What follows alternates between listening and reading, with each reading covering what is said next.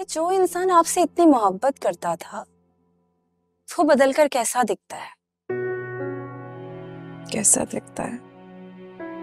एक भटका हुआ मुसाफिर जो अपनी मंजिल की तलाश में रास्ते पर कहीं गुम हो गया है।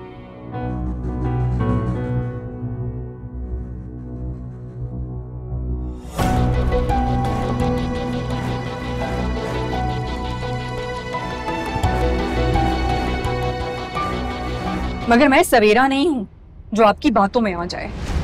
जिस तरह आपने सवेरा की ज़िंदगी से आमिर को निकाला था ना, आपके लिए बहुत अच्छा होगा कि जितना जल्दी हो सके मायर की ज़िंदगी से उस अनाया को बाहर निकालते हैं।